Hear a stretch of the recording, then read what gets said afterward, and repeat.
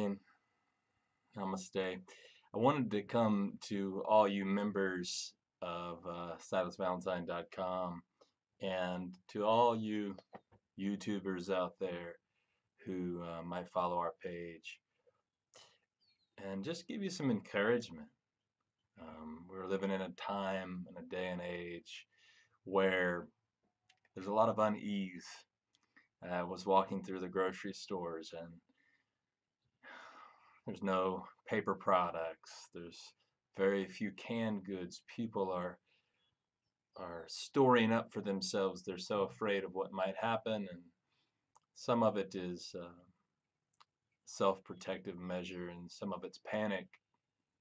But the panic and the fear that are being experienced right now by the general public is not new.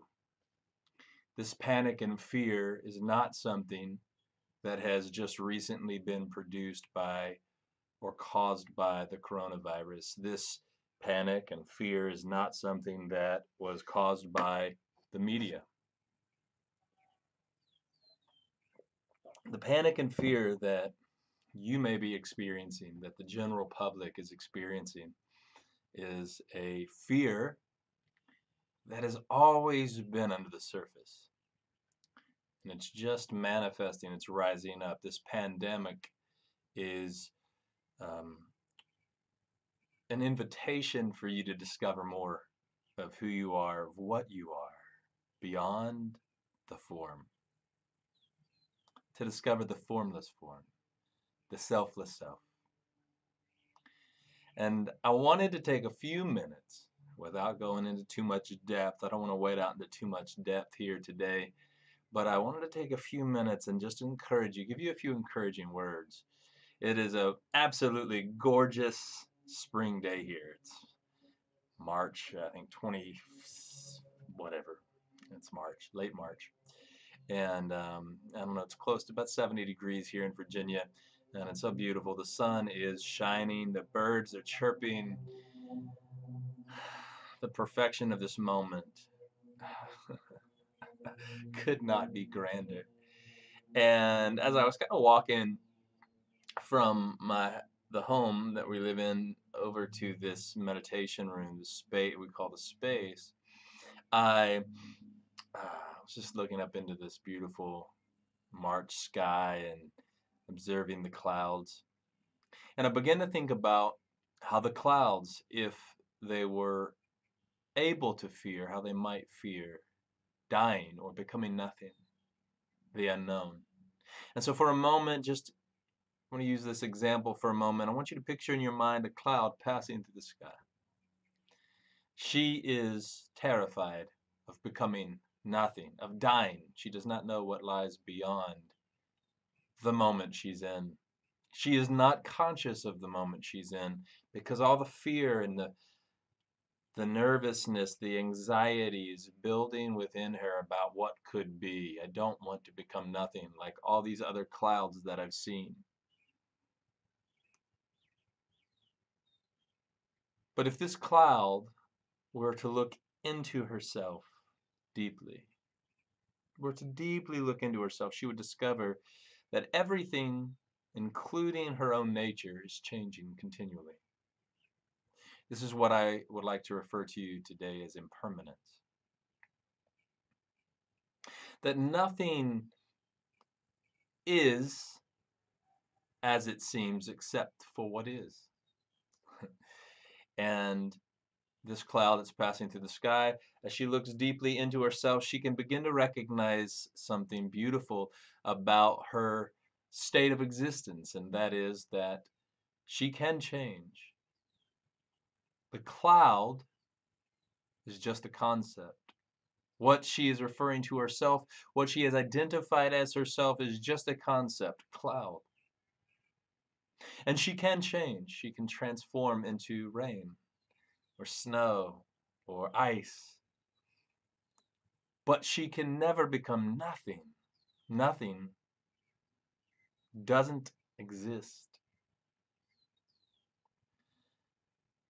And when she begins to realize that she will always be the selfless self, the one that lies just beyond the thing she's identified in and as, this one that lies just beyond the belief of herself, when she can begin to look truly deeply into her own nature and see that she is so much more than that concept called cloud,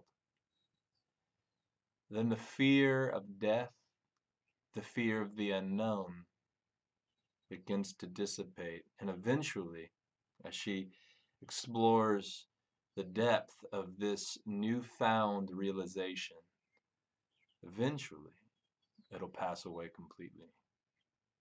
I want to encourage you today that we're living in a beautiful time. Eden is all around you. The perfection of this moment could not be greater. I want to encourage you to look into this moment, to be here with me in this now, to realize that there is no next, and to be okay with there not being a next. And then I want to encourage you to look into yourself and see that you are so much more than the form that you've identified as, than the body you've identified as. That you're so much more than the food that you're taking into your system. That you're so much more than the water that you're imbibing. You're just so much more. I want to encourage you to look into your true self and see that while your body might transition, might transform. It will never become nothing. You will never become nothing. That who you really are and what you really are is so much greater than what you've yet to realize. And as you explore your true nature, the fear will pass away. So I want to encourage you today to, to not buy the hype. But if you're feeling fear, if you're feeling anxiety, to be honest with yourself, to admit that you're feeling those things, and to begin to ask the question who is feeling those things? Is this my truest nature, my truest essence, or is this just the idea that I have of myself, a mere thought, a mere concept that is feeling this fear, this anxiety, this panic. And I want to encourage you when you're feeling, or if you're feeling that fear, to treat it as a doorway, an invitation, if you will, into a beautiful journey, a beautiful exploration of who and what you truly are. I hope you guys have a beautiful day, and I'll talk to you soon.